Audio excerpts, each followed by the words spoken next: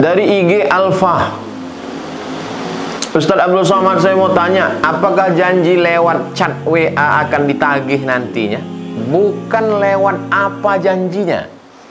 Lewat telekonferensi, lewat WA, lewat IG, lewat Instagram, lewat FB, bukan lewat apanya. Tapi janjimu itu adalah substansi maknanya janji. Sifat orang beriman walladzina hum li amanatihim wa ahdihim ra'un. Dia selalu menjaga amanah dan menjaga janji. Oh, jadi kalau saya enggak tepat janji berdosa.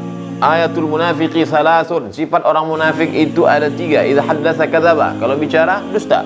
Wa idza wa'ada akhlafa. Kalau dia berjanji, ingkar janji. Wa idza tumina khana. Kalau dia diberikan amanah, dia khianati. Nauzubillah.